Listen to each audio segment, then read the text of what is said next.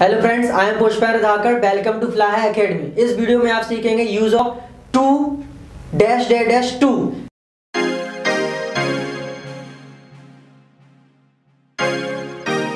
जी हाँ too dash day dash to two या आपका T double O too dash day dash to तो इसका यूज़ किस तरीके से करते हैं? मैंने आपको प्रीवियसली एक वीडियो में बताया था so dash day dash that का जहाँ जैसे यूज़ करते हैं, वहीं पर इसका यूज़ करते हैं। बस यहाँ पे क्या होता है, बस नेगेटिव सेनेंस जो नेगेटिव सेनेंस हट जाता है।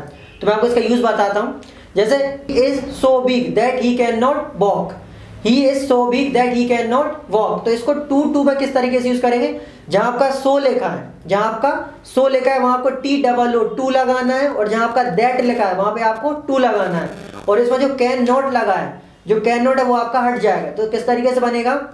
He is too big to walk he is too big to walk he is too big to walk जैसे ये हो जाएगा दूसरा सेंटेंस अगर हम ले लें जैसे he is so tired. He is, is so tired that he could not play that he could not play that he could not play. तो इसको किस तरीके से करेंगे हम?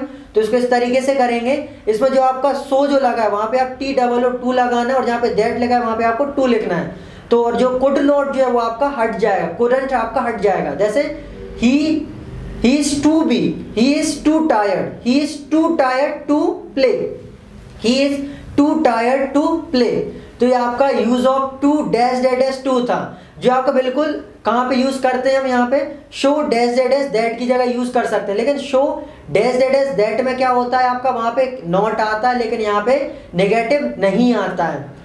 तो आपको डिफरेंस समझ में आया? तो practice them thanks for watching